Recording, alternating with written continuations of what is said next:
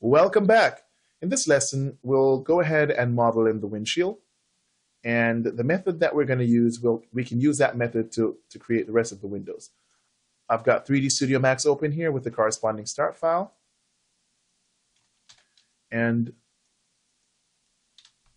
what we can do is switch to the top viewport and just zoom into the windshield area so we see what's going on here. And so I've seen this done a few ways. I've seen where one models just a simple piece of geometry like a plane or so. And then you go through and snap those verts to the open area of the windshield. And what I'm doing here is I'll just attach that right now so we can see what's going on. Then you switch to vertex mode, you enable snap,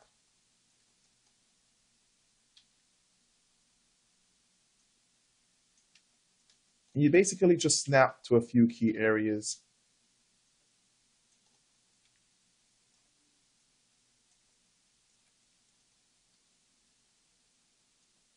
Until you've got the windshield area filled out like so. And then the next step from here would be to either use your Swift Loop tool.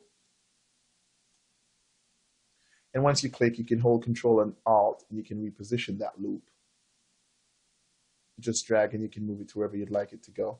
But we'd use our Swift Loop tool and just cut some loops in and continue to snap to the rest of our geometry. Now, one drawback to this method is you'll have to do a lot of hand tweaking because as you can tell from the side view, for example, this vert needs to go up. So you get sort of like a, a slope or a curve in the glass there. And so it's just a lot of work to go through and, and tweak all those. And so you might end up getting some small imperfections in your windshield or things like that. The other drawback to this method is that you'll have to turbo smooth your windshield with the rest of your model as well, which is not a huge deal, but sometimes you want to just keep the window object separate and have it modeled at a, a pretty good quality initially. So for that, the second method is to use the surface modifier along with splines. And I prefer that method because it's a little less tweaking as far as getting the curvature and the topology comes out a bit cleaner. All right, and so to do that, you know, you'll just go to create, shapes, line, and we're just gonna draw from our top view simple shape. And so once you have that drawn in, it's just a matter of switching to your right viewport, enabling vertex mode, grabbing the verts, and repositioning them.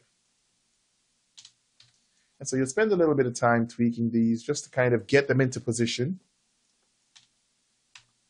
and see what's going on. But the beauty of, of this method here is once you've got your verts in place, you can now go through and right click and choose different methods. And that allows you to actually tweak the curvature of your verts. And so for example, this vert here I can grab, convert it to a Bezier corner, And then I can go through, or actually, let's go ahead and convert it to Bezier. I can adjust the handle here to get that to match up with our geometry. The other thing you can do once you're working on that is you can go to Refine and click Refine there to get some points added.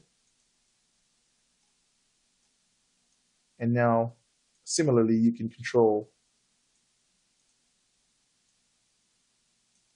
the way these points work. When you click on a vert, you'll get the control handles. You can also click in the direction there, and that will let you move it depending on where the, the gizmo is highlighted.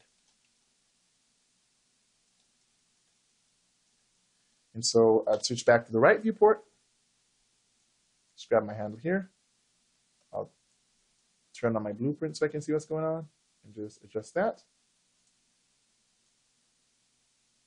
Adjust that as well. Switch my top viewport, see what we're working with, and I'll just go to refine, add a vert there, move that in. And as you can see, we're getting that, that form in. And something to, to be mindful of is we're going to add a surface modifier to this spline cage here. And the surface modifier needs to have four points. Typically four points going across your object for it to, to surface properly. So for example, we've got one, two, three, and four. That would be fine, but we've got a point kind of just hanging out here. So what we have to do is just go across, get to refine, and drop another point there. You can see that goes across there. And now we would need to connect these two points. And for that, you can go back to create, line, uncheck where it says start new shape, turn on your snaps, make sure you're set to vertex. And what we're going to do is just drag out, I'll just isolate this here so we can better see what's happening. I'll just drag out a, a line across here to connect these two. And to, to see where my verts are placed, with my main spline selected, I can click on display, and then we can go to vertex ticks, and that will show us exactly exactly where the verts are on this this object. And so you can just click, drag, and so that should be snapped in place there, and it's going across there. And then we repeat the process. Click, drag, drag. And actually, let's go ahead and delete that. What we'll do now is select remain shape and just attach that line that we did there. And from this point on, we can go back to modify, vertex mode,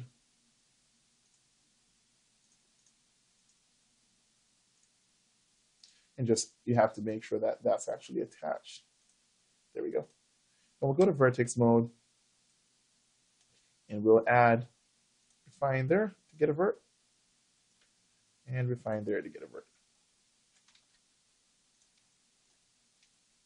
Just basically one on each. Now what we can do here is just grab any one of these verts and just snap them together like so. With that complete, you can right click and choose smooth and see if that will get you a nice little slope going across and that looks good. And so now we've got basically a, a cage with everything divided by four points. And so this should work pretty well with the surface modifier. It might take a little tweaking here and there, but let's go ahead and apply the surface modifier and see what happens. Here we go. And so now it does that. And as you can see, this is actually pretty clean and smooth so far. And if you want to get a better look at the topology, you can add an edit poly modifier and turn off snaps. And let's just go back to our object and turn off our vertex ticks. Exit isolation mode. As you can see, we've got it sitting here like so. Now, the rest of the work would simply be going back to your spline network and adjusting any one of these points to kind of get things to tighten up a bit. The other thing you can do as well is you can go back to refine, add points as you need them. Try not to add too many though because then that just sort of defeats the purpose of using the, the surface modifier. You just go through and add points like so. But just to be sure that if, if you add a point here, you'd put one going across each of these segments here so the surface knows how to work in that. The other thing to pay attention to as well is where it says steps, you can increase or decrease that. And that basically affects the curvature and the density of your final model. And we're missing a piece here because we didn't go through and add the rest of the verts to complete the, the spline network here. And so that's the process I'd use to get the windshield in. And then I'd go ahead and do that for the rest of the windows. That concludes this lesson. I'll see you in the next one.